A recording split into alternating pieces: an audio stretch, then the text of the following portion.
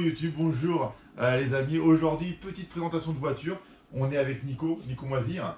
Bonjour à tous, euh, Nico Moisy, euh, jeune pilote d'une quarantaine d'années. Passionné Kyosho depuis pas mal d'années, depuis en gros 20 ans, donc avec une, partie de ma- une petite partie de ma collection aujourd'hui pour, faire une petite présentation avec Yann. Donc voilà, aujourd'hui on fait une petite présentation. On va parler de voitures modernes, comme le MP10. Et on va parler de la création euh, du design un peu buggy en fait. On va voir que en 40 ans pratiquement, en 40 ans, que les voitures n'ont pas trop évolué. Alors il y a eu des petites évolutions quand même, parce qu'évidemment, on on a une voiture qui a 20 ans, enfin que 40 ans même. Mais euh, par rapport à ce qu'on a connu avant, avant, euh, ça a énormément évolué à un moment. Ouais. Et après, ça s'est un peu stagné. Après, c'est des petites évolutions qui paraissent pas énormes, mais qui sont euh, conséquentes quand même au niveau tenue de route, au niveau motricité, au niveau amortissement, parce que Oui, le, les pistes ont évolué par rapport euh, aux voitures. aux capacités des voitures. ouais. On a, on a fait évoluer les voitures, les premières générations, je- tu, tu me coupes si, ça- si je dis une bêtise, les premières voitures n'étaient pas conçues pour vraiment sauter de, de vraiment... euh, Non. C'était fait pour rouler dans la terre, euh, dans la pelouse, avec un, un- un terrain, style terrain de foot bien lisse, une petite bosselette par-ci par-là, Ouais, et ouais. c'était bon. Donc là, c'était pour des produits style Burns, et progressivement, avec les années, on a commencé à mettre des petits whoops, à des de plus en plus grosses, et maintenant les voitures sautent euh, relativement euh, très bien et, très loin, sans aucune difficulté, sans aucun problème de comportement. Ouais. Bah, on le verra bien de toute façon sur les voitures, puisque si tu prends le Burns, qui est un, des ancêtres, hein, 1987, euh, les amortisseurs que tu trouves dessus à l'heure actuelle sont l'équivalent de, ceux que tu trouves sur une échelle 1 dixième aujourd'hui. Aujourd'hui. Donc le, rapport, il est assez. Là, on doit être sur un diamètre de 8-10. Ouais, 8-10, le piston il fait 8 je crois, donc euh, ouais, ouais, ça fait ça. Ah, 8-10. euh, à Alors qu'aujourd'hui on est à 16 mm de diamètre sur, sur des pistons, donc plus du tout, enfin le double de, de diamètre. Donc là, le Burns, on va parler du Burns, on va commencer. Donc là, année donc, euh, 87 de création Oui. de la voiture, sortie. Ça, en fait, c'est le premier véhicule qui a ressemblé à, pratiquement à aux voitures modernes de maintenant. Sans aileron. Ouais, c'est le premier de l'ère moderne, on va dire, oui. L'air moderne, Voilà. si on regarde par rapport au, au MP10, on voit quand même qu'on est euh, proche au niveau style gabarit, sachant qu'il y a toujours eu un règlement. On est toujours obligé d'avoir une, une, la longueur à peu près respecter une longueur de châssis maximum et une largeur maximum. Ouais. L'aileron et tout ça, c'est venu après les. C'est venu après dans les évolutions. ouais. Dans les les premières époques où euh, on a eu des châssis alu euh, en une seule pièce. Avant c'était beaucoup de la. Ouais, de en deux euh, pièces avec tubulure et ainsi de suite. en- soit en tubuleur, soit une partie plastique au milieu, euh, métal voilà. devant, derrière. C'était une première voiture avec- complète. les, les comment s'appelle les machos, les, euh, les rabbits, tout ça. Enfin, Voilà. non, c'est- on en parlera sur d'autres d'autres vidéos. Donc là, on est, on est sur une vidéo euh, avec, euh, on va parler un peu de véhicules vintage, avec les grands pare-chocs de l'époque Ouais. pour protéger. hein. Donc plus ça va, plus on les rétrécit pour éviter le, le phénomène dans les réceptions de saut que, bah, qui gêne plus qu'autre chose. Ouais. Alors on voit vraiment que c'est un produit vintage parce qu'à l'époque, il n'y avait pas encore le système d'ouverture facile et ouverture rapide. Attends, euh, c'est dérangeant, ouais, bon, Ah non, non, vas-y, vas-y. Petit bouchon métal, euh, comme une bouteille de, de Perrier. euh, de Perrier aujourd'hui. C'est-. Ça reste. Donc euh, là, on a le bouchon qui se dévisse tout simplement. Euh, après, on a les cerveaux. Donc on- après, on, s- on voit qu'on est sur un, sur un produit déjà bien conçu avec trois différentiels. Différentiel central, différentiel arrière, différentiel. Donc évidemment, les masses tournantes sont assez grosses parce qu'ils ont, ils se sont, ils ont- ils se sont rendus compte avec les années que plus c'était petite en masse tournante, moins ça gênait pour les sauts et ainsi de suite. Donc on, on a été de plus en plus avec des, des différentiels et des cellules de diff plus en plus petites. ah, Euh, Allongement des triangles aussi par la suite. Ouais, allonger les Triangles, des triangles relativement courts par rapport à ce qui se fait aujourd'hui. Donc euh, on avait des petits débattements, on avait, euh, on avait des sauts qui étaient. euh, toutes petites suspensions, Voilà. des tout petits débattements, des, des gardes au sol qui sont été corrects, mais avec des, ampli- des amplitudes très légères. Ouais, exactement. Le RFB, l'OS RFB qui était très mythique à l'époque, Ouais, on trouvait partout. partout, le moteur, 4-2, 4-4. le euh, moteur le moins, enfin, entre guillemets, le moins cher du marché à l'époque, mais le plus fiable. Ouais, de loin. Déjà, l'OS était déjà de- devant, euh, devant beaucoup.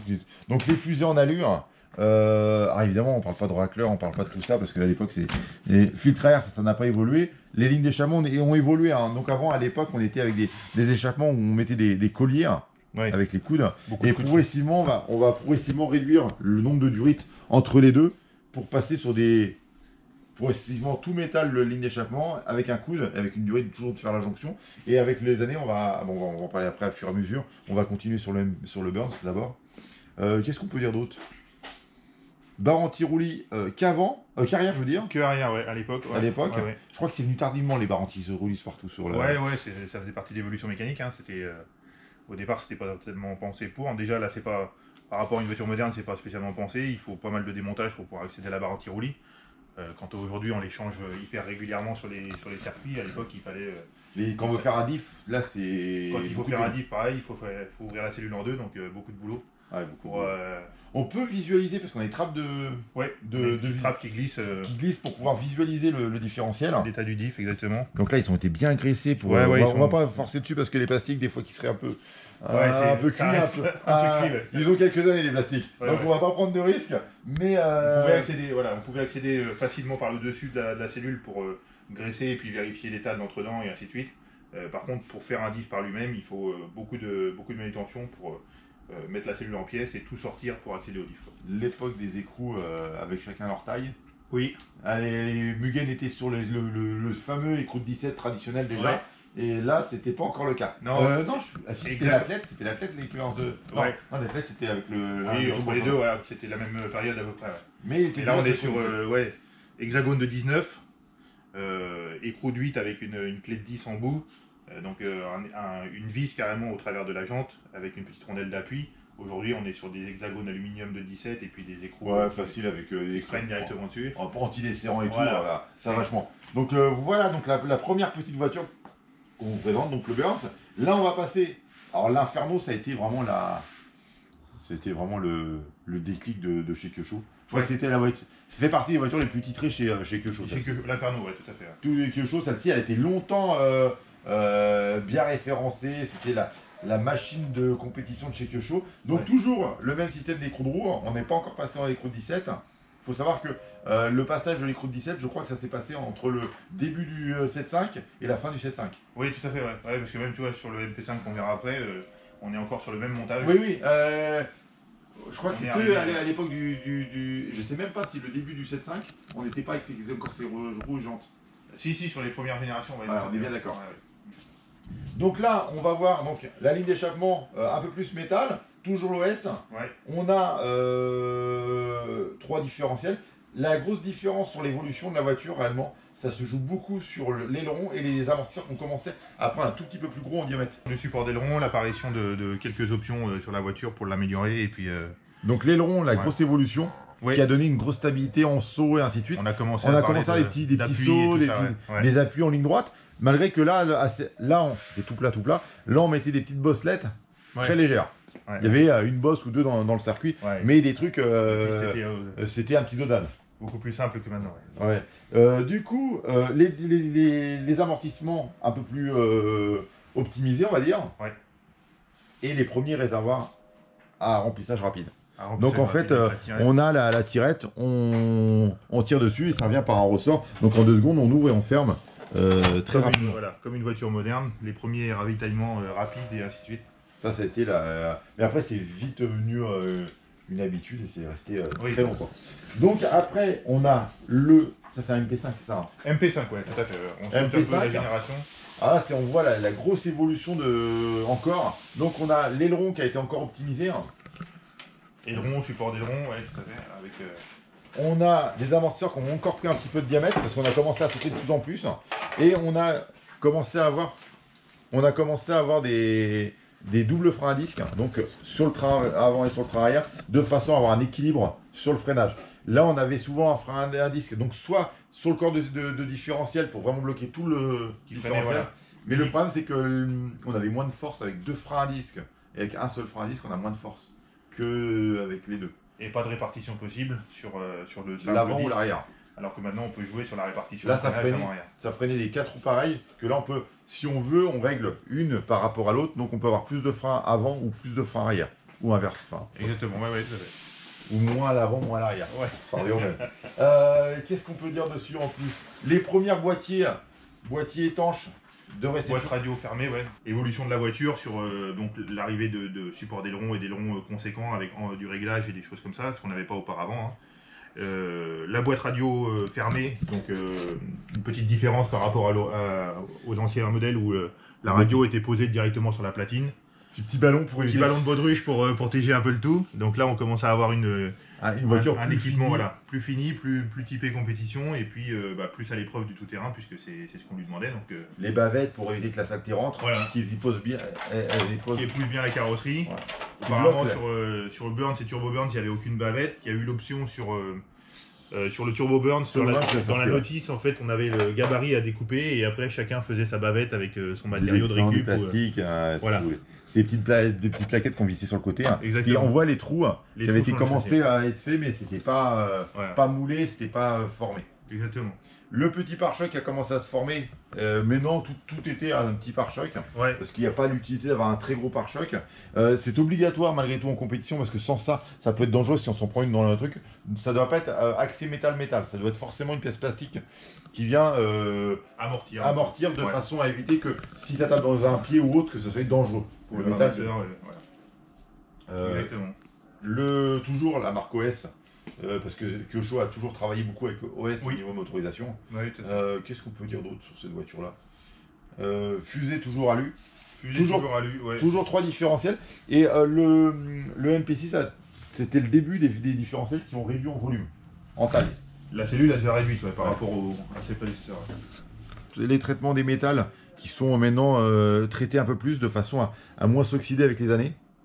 Ça, C'était le début aussi. Ouais, ouais. Changement des couleurs d'amortisseur aussi à l'époque, parce que c'était la, Ouais, ça, ça a toujours La tourné. ça. génération, voilà, on est passé sur des générations où il y avait beaucoup de pièces anodisées bleues chez Kyosho, c'était reconnaissable un peu grâce à ça. Donc amortisseur, euh, cale option, des choses comme ça qui commençaient à changer de couleur. On reste sur des. Les petites cales arrière. euh, Voilà. À l'époque du, euh, du Burns, on n'avait pas forcément euh, ces pièces-là en option.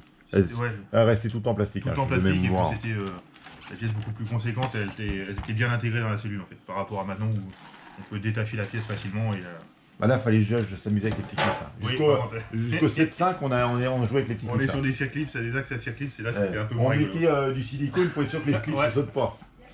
Exactement. On se dit, tiens, celui-là, on veut pas qu'il parte trop vite, on va mettre un peu de silicone, ça va le coller un petit peu. Euh, Donc le fameux, euh, alors ça c'était ça, c'était une grosse génération. Donc la ligne d'échappement, le joint euh, de raccord et Ouais. le coude. Ça c'était une grosse génération. Ça on a quitté ce, ce système-là dans les années 2007-2008. Ouais, exactement, ouais, sur euh, les échappements modernes euh, Inline. raccordés, inline, ce qu'on appelle inline, ouais, c'est.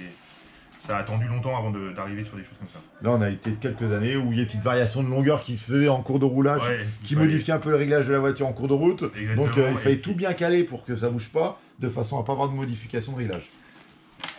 Et, puis le risque de fiabilité au niveau du caoutchouc qui, qui brûle pendant la course et puis qu'on perde, Qui se déchire même qui se déchire, voilà, exactement. Ouais. Et qu'on n'aille pas au bout. Alors euh, ça c'est une voiture qui n'appartient pas à, à comment ça s'appelle à Nicolas, mais On peut intercaler, ouais. on va intercaler juste pour le plaisir de- d'en parler vite fait. hein. Donc c'est l'évolution. Alors réellement euh, là on est sur un MP5.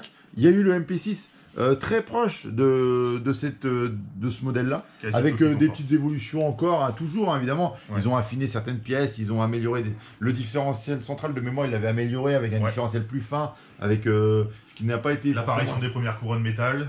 qui Première couronne métal, ouais. Plastique jusqu'alors. qui ouais. était un défaut sur, sur le, qui était toujours un point faible. un point faible. Donc là, c'est alors c'est un Inferno Neo pour ceux qui connaissent en moderne, avec des gros volumes. Et techniquement, le 7.5 a eu des amortisseurs à kiff kiff que ça. Oui. oui C'était peut-être un millimètre plus gros, mais je Ouais. pense que c'était les mêmes. Euh, euh, peut-être un poil plus, long- par contre plus long en débattement. On commence à avoir un peu plus de débattement parce que Plus, les plus long triangles étaient débattement. plus. Et euh, en fait, alors ce qui est marrant, c'est que le 7.5 et le Neo jusqu'à maintenant, c'est la voiture qui a été le plus vendue hein, chez hein. Et ils l'ont remaquillé X milliers de fois. Voilà. dont la carrosserie qui a changé avec une carrosserie avec une cabine avancée un peu plus, euh, avec l'époque euh, l'époque CLX, euh, tu sais, avec les carrosseries avancées. Ouais. Et ils sont revenus à l'original. À la carrosserie, de, ouais, le format original de chez ouais. Donc, euh, ce qui est petite parenthèse.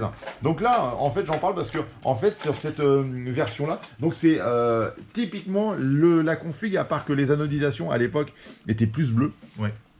Beaucoup plus bleu, même pas noir du tout, mais bleu. Le châssis était gris métal. Les fusées étaient à l'identique. Ont été euh, fusées à l'identique avec euh, le même système. hein. Il n'y avait pas de, de, variante à ce niveau-là. Les amortisseurs plus petits en volume. Je vous dis, pratiquement ce diamètre-là, simplement plus long en, long- en longueur de course. C'était les, les grands débattements. Les Et en cours d'année, enfin, en euh, pas sa, sa date de sortie, mais euh, je pense que c'était sur la deuxième génération ou la. Ouais, assez rapidement, on est passé, ouais, ouais. on est passé rapidement sur les écrous de 17. C'était le, le début des écrous de 17, comme, euh, bah, comme tout le monde s'est standardisé pour les écrous de roue, pour une simplicité pour les pneus. Ouais, ce qu'on a aujourd'hui sur tous les modèles. ouais. Ouais, c'est- bien, c'est un confort ça. Ouais. Ça a été toujours une petite guerre, les, les, les trucs style euh, les prises de cerveau qui ont été très longtemps avec euh, Rob sa prise, Futaba sa prise, Sanoa sa prise, Multiplex sa prise. Ouais. C'était casse-couille ça. C'était de la standardisation un petit peu de, de tous ces produits-là qui. Qui ont Ouais. fait du bien dans le modèle. Ouais, voilà. Donc toujours le double frein à disque.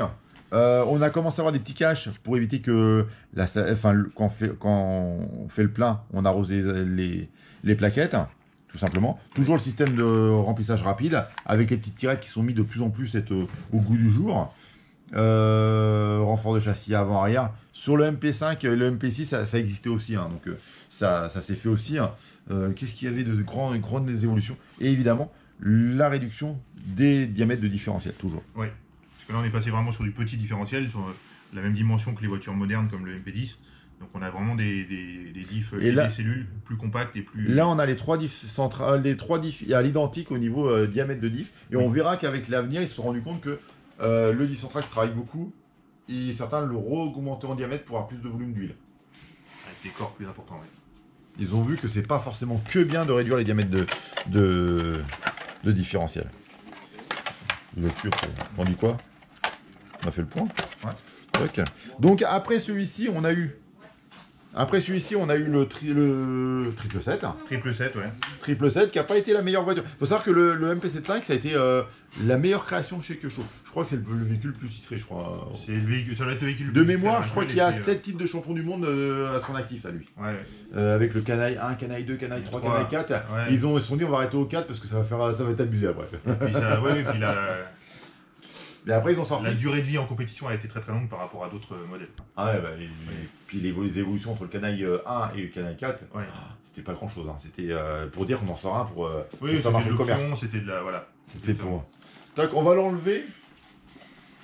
On va tiens, chope un- le, le, le, MP, le MP9 avant qu'on retourne. On se permet de, de faire comme ça, on va, on va tracer toute la, toute la génération de tout- tous les, pratiquement tous les, les, les MP. Euh, il nous aura manqué le MP6 qu'on n'a pas de- dedans, mais on aura pratiquement fait tout le tour. Ouais, ouais, tout à fait. Le MP6 très proche du MP5, donc. euh, Ouais, c'est très proche. Là, on est euh, pareil. hein, le MP6 et le P9, ça a été sur des petits renforts, des petites bricoles. Je crois que les différentiels n'ont même pas changé entre les deux. Non. Et la couronne métal qui avait changé. apparition. Il y avait des apparitions comme les renforts de châssis euh, qui sont venus se, se greffer. À l'avant, à Euh, à l'arrière. l'avant, à l'arrière, qui était un peu plus costaud pour commencer à parler de La- modifier le châssis et de. La boîte radio de mémoire, c'était la même. La boîte Euh, radio était la même, elle a évolué que sur le MP75 pour devenir plat. Plus plat pour réduire les gardes. euh, voilà. la, enfin, pas les gardes au sol, mais la- réduire le, le, centre de gravité. le hein. centre de gravité. Donc là, on va arriver sur la première génération de. ah non, c'était le triple 7 qui a eu les premiers gros volumes. Qui était. alors, c'était Oui. pas du 16 mm, c'était. De mémoire, c'était du 14 ou du 13. c'était Ouais, un c'était entre les deux. un intermédiaire. ouais. un intermédiaire et c'était euh, le début des gros volumes, des gros des amortisseurs gros volumes. Euh, donc ça c'est le MP9. On a pris une version électrique parce que c'est donc qui nous arrive sous la main.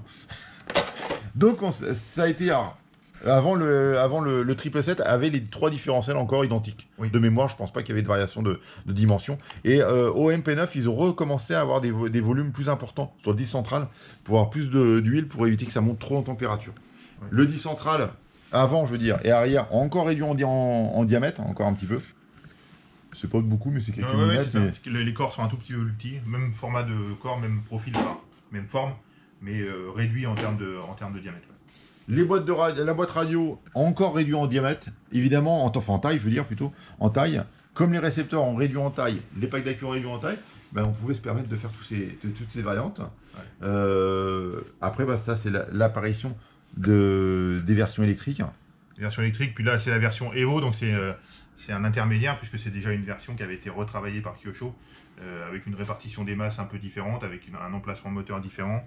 Euh, Plus sur l'avant Voilà, et une moins voiture, central. alors, une voiture quand elle est sortie qui était un petit peu typée euh, piste américaine, puisque voiture plutôt prévue pour le, le gros grip et puis les belles pistes bien roulantes de par sa configuration, mais qui reste une voiture polyvalente encore aujourd'hui, puisque le MP9 Evo, même si le 10 est sorti, on en croise encore beaucoup sur les pistes euh, dans, une très bonne voiture. dans la hein. version compétition. ouais, tout à fait. Une voiture très performante, qui a plein de titres en- à son actif et tout ça, Ouais. qui, qui a très bien marché, qui a été titrée champ- championne du monde, qui a été euh, euh, championne euh, d'Europe, je crois aussi, même, euh, je suis pas sûr.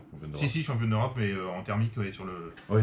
Ouais, tout. Alors en électrique, euh, pas trop, parce qu'en fait, euh, l'électrique, euh, les championnats du monde et les championnats d'Europe euh, électrique, c'est tout récent, tout récent. Donc euh, il y en a beaucoup moins de titres. Je crois que championnat du monde, il n'y a pas eu encore. On où ça commence tout juste. Euh, c'est- c'est- oui, puis c'est surtout moins médiatisé, puisque la, la- la référence dans la RC, ça reste quand même le thermique, aujourd'hui. Euh, donc euh, les championnats mondiaux en thermique, on en entend parler chaque fois que ça a lieu. Le- L'électrique, c'est un peu moins. euh, Mais ça, c'est comment ça fait combien de temps l'électrique C'est pas tout récent? euh, L'électrique vraiment reconnu, ouais, il y a quelques années, il y a que 4-5 Mais les ans, c'est vraiment monde, re- reconnu par les frappes. il y euh, n'y en a pas eu encore de fait. De championnat du monde. De championnat du monde élect, non, pas vraiment, non, non, pas dans, ce, dans le format Les complet. championnats d'Europe, pour moi, il y en a eu. Championnat d'Europe, il y en a eu plusieurs. Il y en a eu en France il y a quelques Ouais. années où euh, Ça, un ça français a été titré, voilà. Jean-Félix Sartel a été titré. Euh, après, les championnats, des championnats à niveau international en, en élect, c'est un peu moins reconnu. euh, c'est et pas- ça, ça a été ça- intégré par les FRAG il y a quelques années seulement. ouais. Ça va venir déjà d'ici peu de temps, mais on voit bien que tous les grands pilotes viennent de plus en plus sur l'électrique aussi. Oui. Avant, ils s'en intéressaient très peu, hein. ils roulaient occasionnellement dessus. Et là, on voit maintenant tous les grands pilotes ils se, se mettent à l'électrique aussi. Voilà, puis tous les gros événements, euh, on va dire déjà européens, sur toutes les courses comme la Bugiland, comme des choses comme ça, euh, se font toutes en double catégorie pour les, pour les pilotes pro ou les pilotes euh, de, de bon niveau. Euh, tout le monde fait la, la- la double catégorie dans le week-end de course pour, euh, pour participer un maximum et puis avoir un maximum de roulage. quoi. Ouais. Donc, c'est bon. Les petites bavettes qui sont venues, alors ça, ça s'est venu euh, euh, sur la fin du, euh, du triple du, du MPC5, je veux dire, Ouais. euh, et qui ont couru. C'était une petite option qui a été, qui a été mise sur le, sur le Canal 2, Canal, euh, non, Canal 3, Canal 4 ou Canal Ouais. 2 peut-être, je sais plus laquelle version. Il y en a tellement que je sais plus à force. Et qu'on suivi sur le triple 7 et puis qu'on suivi après sur le MP9 et sur le MP10 aussi, qui ont suivi aussi. Attends, on va recroiser, on va recroiser pour le plaisir. Donc, on va repasser sur du thermique. On va vous finir euh, l'explication. Donc là, c'est vraiment la, la dernière génération de voitures. Donc là, les- elles sont plus de même couleur le- de carrosserie parce que c'est des carrosseries qui sont euh, souvent fait, tous les pilotes ont tendance à mettre leur couleur de façon à être rep- repérés facilement sur la piste. Puis pour le plaisir d'avoir les Puis euh, oui, plaisir ouais, d'avoir ces couleurs à couleurs et puis d'avoir une voiture qui est assez, assez sympathique. Ouais. Donc ça, c'est le MP10. Thermique.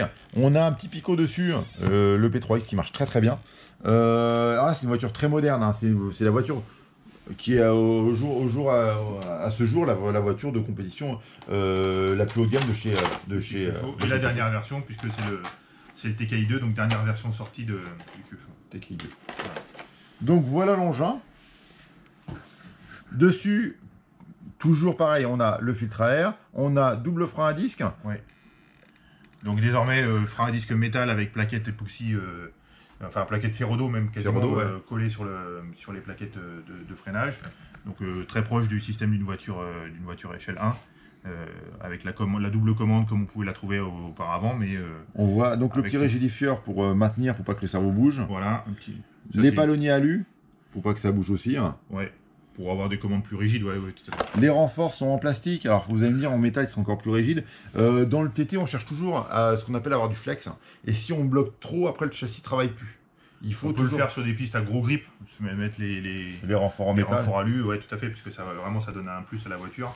Plus Mais comme on, a, d'originalité, euh, voilà, comme on a quand même pas mal de pistes à saut, des pistes qui, qui travaillent, euh, qui font travailler les châssis, euh, moi je préfère garder le- cette partie flex et puis avoir un châssis qui, qui soit efficace et qui travaille. la motricité elle est vraiment là sur le Kyosho. euh, à l'heure actuelle c'est un des meilleurs au niveau motricité, donc euh, il n'y a pas de problème à, à ce niveau-là, il n'y a pas de travail à faire. Le gros la- filtre à air si, si la voiture se retourne. Ouais.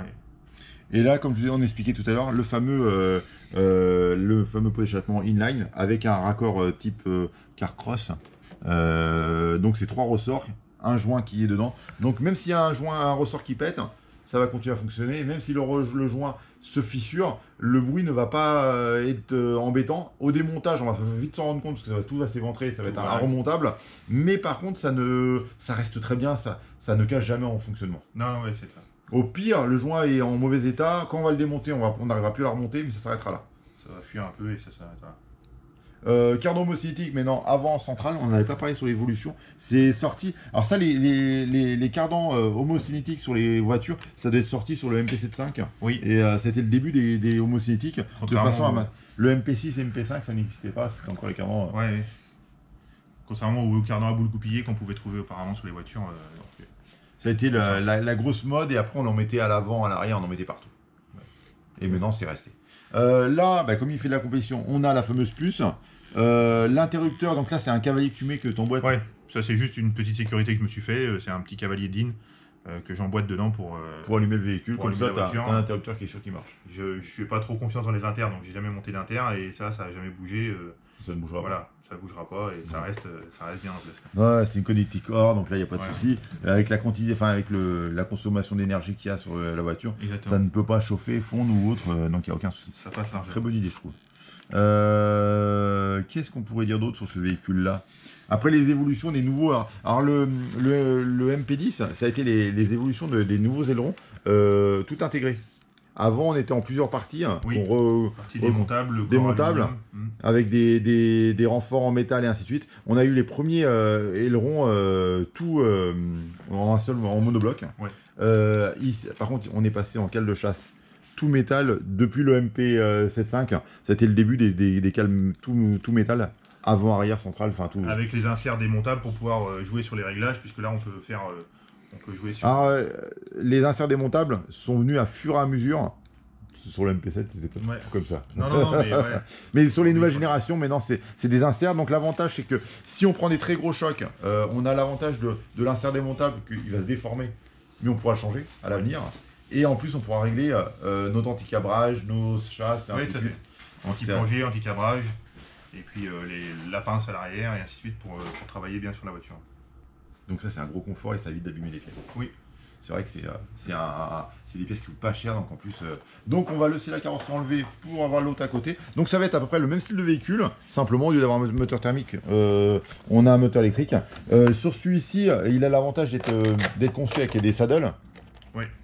Donc il y a deux saddle packs de chaque côté, hein, avec le montage.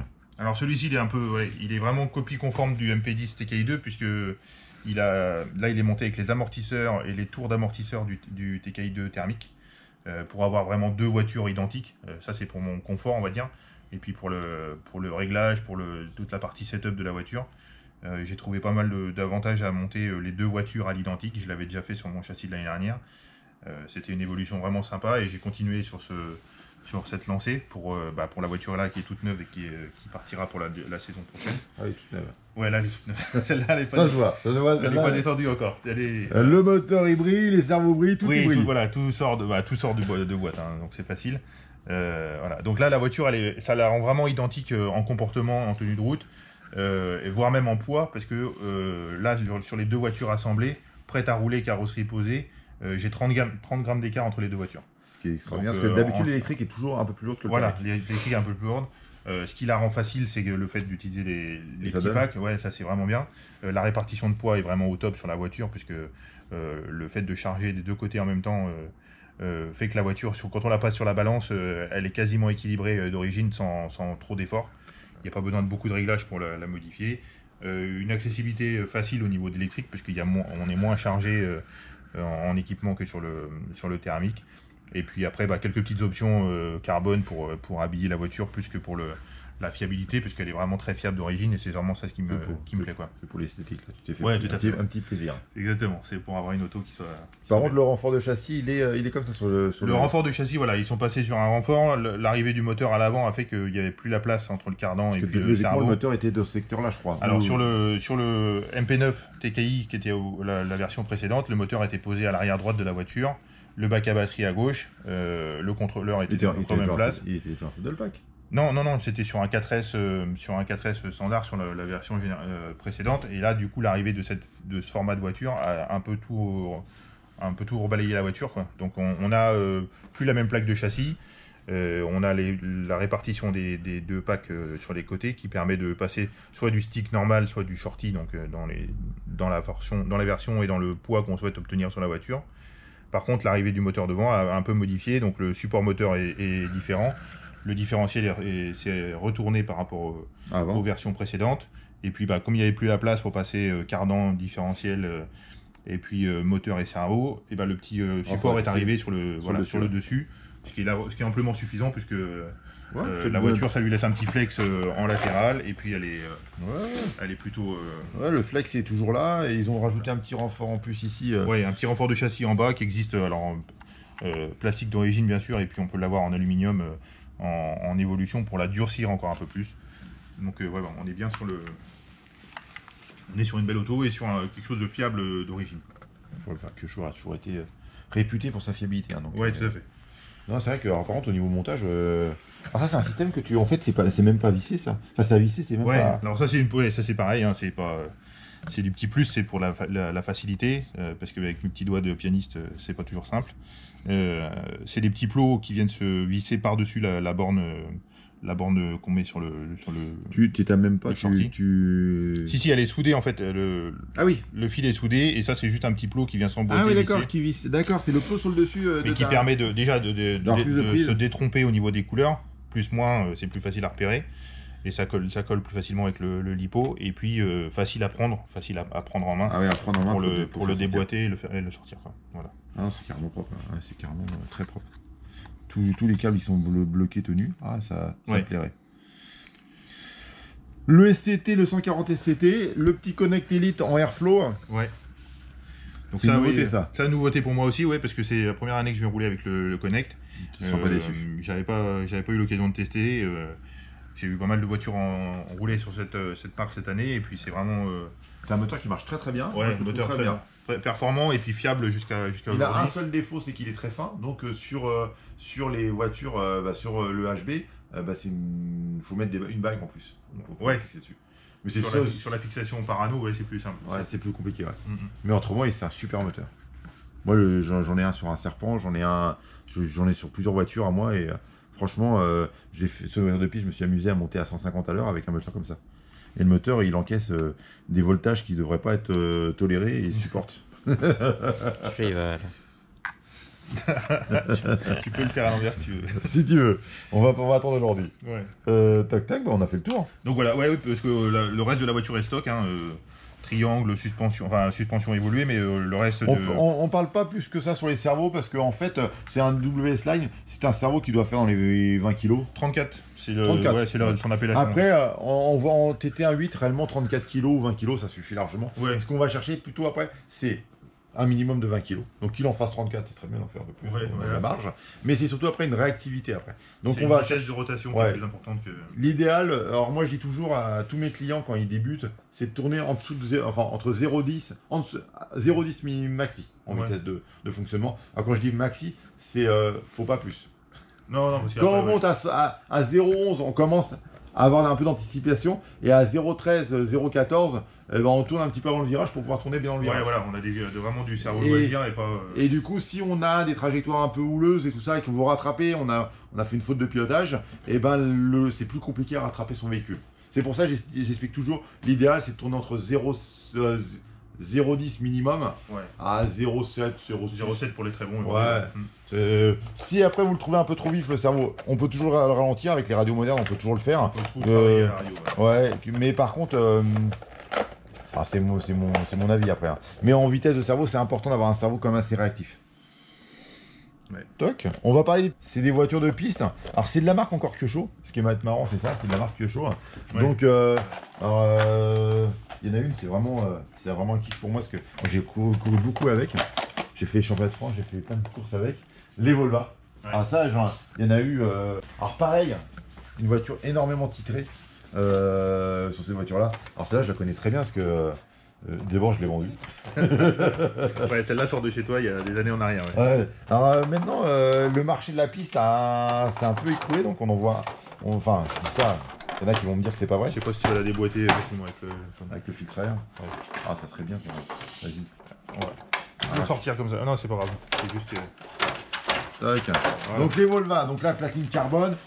Dessus, on n'a pas de différentiel. On a arme rigide à l'arrière, roue libre à l'avant. Donc en fait, ce qui est marrant avec la roue libre, c'est que d'un côté, ça roule et roule, roule, et de l'autre côté, si je tout de suite, ça- motrice. Exactement. Donc en fait, on va avoir juste l'adhérence qu'on veut.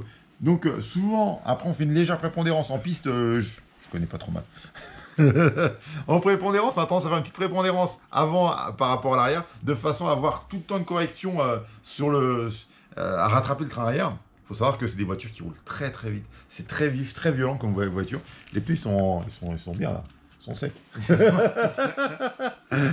euh, Mosedic avant-arrière, c'est des voitures en ordre de, de vitesse qu'on doit tout tourner à une moyenne de- sur un tour à, je pense, 70-80 km/h, peut-être un peu plus, mais au moins 70-80 de moyenne, pour vous donner une ordre d'idée à la vitesse où ça tourne. Quand ça, c'est bien piloté, donc on a une barre à couteau devant, barre anti-roulis à- arrière. Alors celle-ci, c'est la version avec la barre anti-roulis traditionnelle, c'est pas la dernière génération des Volvo, Non. parce que la dernière génération était en barre à couteau aussi à l'avant, à l'arrière aussi, excusez-moi. Ouais. Euh, dessus, on a les fameux euh, réservoirs avec euh, démontage rapide. On a le pack d'accu qui est au plus bas de la voiture, qui va être sous le réservoir. Alors, c'est des voitures, euh, techniquement, quand il pleut, on les sent pas. Ça ne sert à rien. Alors, j'avoue que j'ai roulé un peu, moi, il y a des fois quand il pleuvait, mais c'est pas des voitures qu'on, qui est prévu pour rouler sous, le, sur l'eau. Ça, ne- ça marche très mal. Il existe des pneus, ce qu'on appelle les aquas. C'est des pneus avec une, mousse très très souple qui vont absorber l'eau, qui vont donner quand même de l'adhérence malgré qu'il pleuve. Alors réellement, on pleut, s'il pleut, on, sort rarement les voitures. Souvent, s'il y a un petit peu d'humidité, on met les aquas au début, et puis en espérant que ça sèche. Mais c'est pas des voitures qui sont prévues pour rouler sur l'eau. hein. Euh, on a un sauve-cerveau au milieu, euh, les cerveaux couchés en dessous, le plus bas pareil de la, de la, du centre de gravité. Là, on a un Eagle 7. Ah non, c'est un Eagle 9 9 peut-être, oui, je sais plus. Oui, oui, 9. Je pensais bien que c'était le 9. Donc c'est un monstre au niveau moteur. C'est un moteur au niveau autonomie. euh, euh, en TT, des fois on parle 730, c'est une, moyenne 730. Là on oublie le 730, on se dit un petit 5. Et euh, en espérant que ça passe. Alors pour les bons pilotes, ça c'est juste. Pour les mauvais pilotes, ça, arrive à passer parce qu'on on met moins de gaz, on, utilise moins le moteur, donc c'est bon. C'est bon. Mais autrement, c'est un, un coup frais essence ce moteur. Euh, donc là, on est sur un embrayage qui est un peu spécifique. C'est un embrayage euh, syntaxe. Donc c'est une poussée. En fait, on a des pousseuses, on a des maslottes pousseuses, on a des, des maslottes euh, d'embrayage. Donc on a trois maslottes qui sont séparées. On a une pousseuse derrière. On a un ressort central. Et tout ça va venir avec la vitesse de, de rotation. Donc c'est un embrayage très violent. hein. C'est un embrayage qui est, qui est pas très souple, mais très violent et qui permet d'avoir une bo- bonne propulsion. Une très bonne propulsion par contre. Le réglage est un peu pointu, mais sans plus. hein. Ça se règle très vite. Qu'est-ce que je peux vous dire de plus sur le véhicule? Je crois qu'on a fait près le tour. T'as Ouais. des, idées? Non, non, euh, voiture enfin ultra performante, hein, dans, son- dans- même dans les voitures modernes, euh, euh, des voitures qui prennent euh, quasiment 130 km/h sur, euh, sur les belles pistes. C'est hyper pointu à piloter en effet, c'est quelque chose qui, demande beaucoup d'attention et beaucoup de, préparation au niveau de la voiture. Les, réglages jouent énormément. Autant sur le TT, on peut se tromper des fois un petit peu sur son réglage et compenser un peu par, la qualité des pneus et par la, piste. Autant sur une, une piste 1.8, euh, quand le réglage est mauvais, on le sait tout de suite et, euh, et Non, on, déguste vite. on déguste vite. Voilà. Parce que euh, là, c'est euh, en TT, il y a les sauts, il y a tout ça qui viennent donner une petite, une petite, une petite variante à la, à la piste. Et puis autant autour, ça peut faire une petite faute à cause de un petit trou qui s'est formé entre temps, un truc que là le bitume ne bouge pas. Le bitume ne bouge Donc pas, si vous avez une seconde autour, autant autour en début de, de manche, bah, jusqu'à la fin ce sera une seconde de tour. Ou plus. Ou plus si la voiture elle se dégrade. Euh, mais en moyenne, ça se maintient bien. Il y, a des, y a des réglages très trucs, on a le diamètre de pneus à respecter, il y a, y a énormément de, de choses qui se font. Donc en moyenne, souvent, on, on taille nos pneus euh, 77 ou 60. J'ai plus les tailles par cœur en tête parce que ça fait un moment que j'en fais plus. hein. Euh, il y a une période, j'en faisais énormément, donc je connaissais tout par cœur. Euh, sur celle-ci, moi, j'avais les, les, les, les supports de, de- en alu, j'avais pas mal d'options dessus. Ah, c'était une voiture qui m'a marqué, moi, une. Euh, c'était euh, année de voiture, c'était dans les 2000. euh, 2008. Bah, 2003 sa sortie, et puis utilisé jusqu'à 2007-2008 avec Ouais, la, que la M3 qui a été l'évolution de celle-ci. Hmm. Donc il y a eu deux générations principales, quoi. la Evolva et la Evolva M3, et elle a été... euh, Ah, il y a eu euh, même plus que ça. non. Oui, oui, enfin avec euh, plein de petites... euh, Il y a eu, euh, bah, comme ils font l'habitude, hein, tous les ans, une petite voiture, une petite variation. Le châssis par lui-même n'a pas trop évolué. Ouais, exactement. fois. Ça a été la même base de l'Evolva. Euh, avant, c'était la Fantôme. Si tu. Voilà, celle-là je l'ai pas, elle n'est pas dans la collection. Euh, Non, mais euh, il y a eu la. Fantôme avant, et après, il y a eu l'Evolva qui a été vraiment la, la voiture, la... je crois, une des plus titrées aussi. Oui, oui, tout à fait. C'était euh, la bête noire de chez Mugen, c'était vraiment une voiture qui marchait très très bien et très performante. Donc, tac, on a fait le tour, je pense, de celle-ci. hein. Ouais. Alors, on va parler d'une autre catégorie que maintenant, euh, alors ça dépend des, des, des- des coins, parce qu'en en France, c'est une catégorie qui se développe. Euh, dans d'autres pays, c'est une catégorie qui est, euh, qui est au goût du jour depuis 30 ans. Et en Oui, Italie, oui. en Italie, c'est une catégorie assez reine même. C'est euh, C'est une catégorie assez énorme. ouais. ouais, c'est euh, hyper développé. Donc c'est du GT. hein. C'est du GT brushless. Donc, euh, tenté la, pour la première fois il y a 2-3 ans euh, pour, euh, avec les copains, on va dire, pour, euh, Pour s'occuper changer. l'hiver- pour s'occuper un peu l'hiver. Et puis, euh, et puis en fait, une catégorie qui est plaisante, qui roule vite, qui roule fort, et puis euh, euh, qui, hormis au niveau budget de pneus, est quand même relativement raisonnable à faire, euh, à faire évoluer. Donc, euh, C'est un bon détail ce qu'il vient de le dire. On n'en a pas parlé. TT, ce qui est génial, c'est que tu commences ta saison, tu as 5 trains de pneus, deux profils différents, deux gommes de dureté différents. En gros, c'est ça. hein. Ouais. Euh, et tu t'en sors, tu fais toute ta saison. Euh, en piste, euh, je connais un peu moins, j'ai le moins bien le GT, donc je ne vais pas m'a- m'affirmer. Mais GT, je connais moins bien, mais ça doit manger un petit peu de pneus. ça mange du pneu, ouais, tout à fait. Et alors l'autre d'à côté, euh, une finale, c'est fini, il n'y en a plus.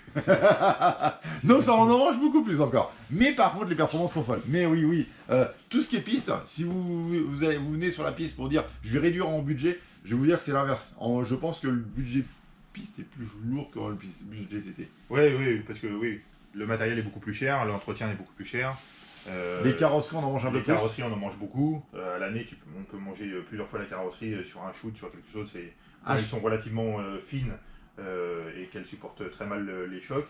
Et les vitesses un petit peu plus super. et les supérieures. vitesses supérieures. Et puis bah, la consommation au niveau moteur, puisque tout à l'heure tu parlais de la consommation de carburant, mais on parle aussi de la consommation du moteur par lui-même. Les moteurs ont une durée de vie quand même relativement limitée en piste. Pour, pour rester ultra performants, ils sont changés régulièrement. Et du coup, euh, c'est des moteurs qui, sont, euh, qui chiffrent un petit peu au niveau budget. Ouais. Et qui, peut, qui demandent, euh, voilà, qui demandent Ah, là, une grosse part là, de là, le moteur qui est là-bas, il doit raser les 500 balles. Ouais, ouais, tout à fait. Ouais, Euh, euh, Même peut-être un peu plus. Je me rappelle plus Ouais. parce que ça fait un moment qu'il est passé.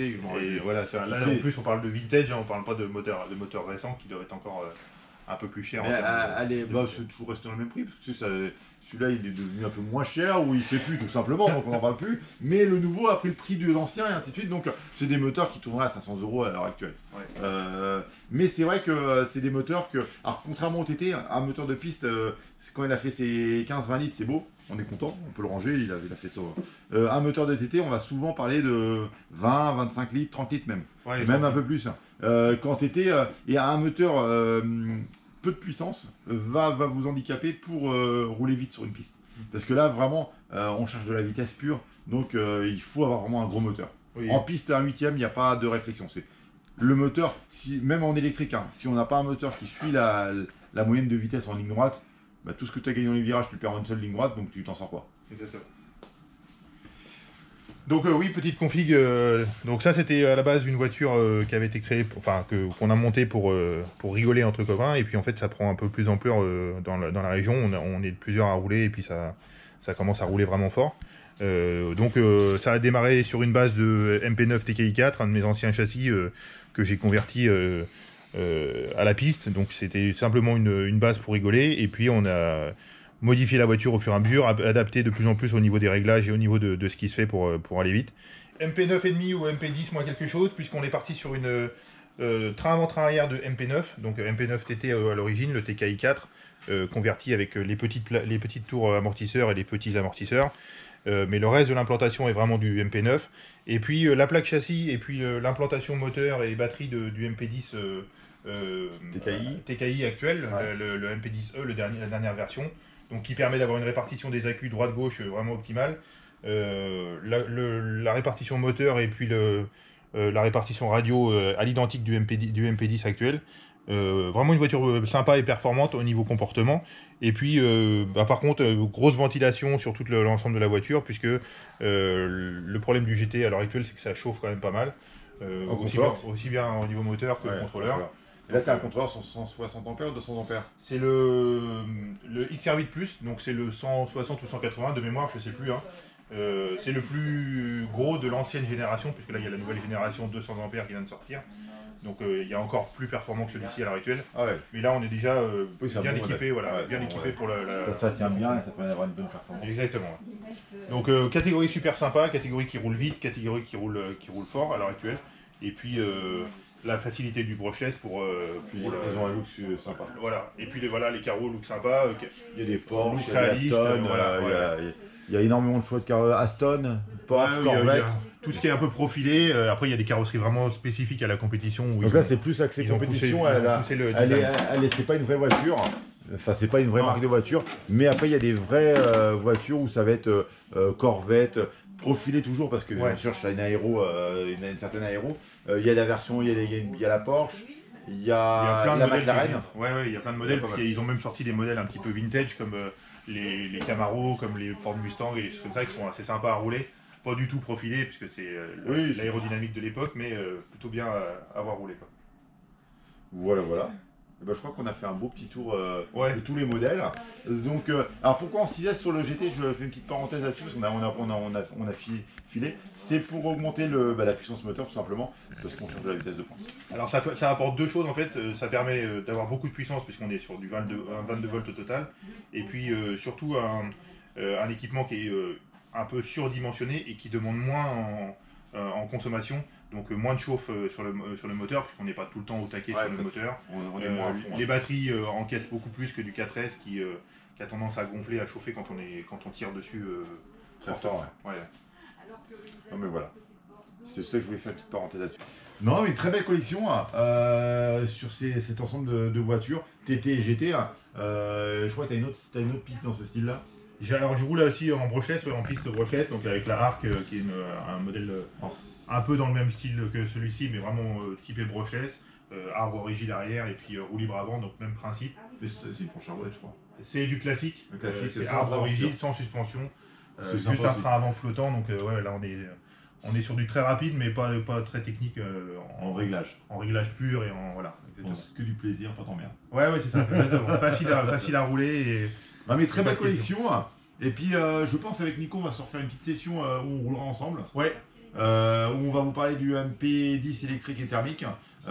Ses, ressentis, ses ressentis, son, son, son plaisir. En même temps, on ira sur sa piste. ouais, Bon, on sur ira accorder, l'une ou soit l'autre. accordé, soit chez toi. Et, Bon, euh, on voilà, verra, on fera l'une des, l'autres- des deux.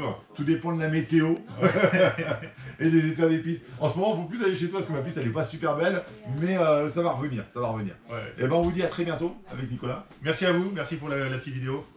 Et puis bah, merci au magasin JMR qui euh, nous suit, enfin qui me suit en parenthèse, euh, depuis euh, plus de 30 ans parce que j'ai commencé avec ton père euh, Ah, il y a longtemps. il y a quand j'étais minot, donc euh, voilà, ça date euh, d'une d'une belle époque quoi. N'hésitez pas si euh, dans la collection des choses qui vous ont plu, des petits euh, commentaires si vous avez des, voitures dans le même style, si vous faites aussi un peu de vintage ou du moderne, hein, parce qu'on a, on a les deux hein, sur, la journée, hein, enfin sur ce qu'on a fait comme vidéo. N'hésitez pas dans les commentaires à, nous donner vos impressions, à, voir vos souvenirs et vos, vos dires. Et euh, n'hésitez pas à liker la vidéo et puis à très bientôt.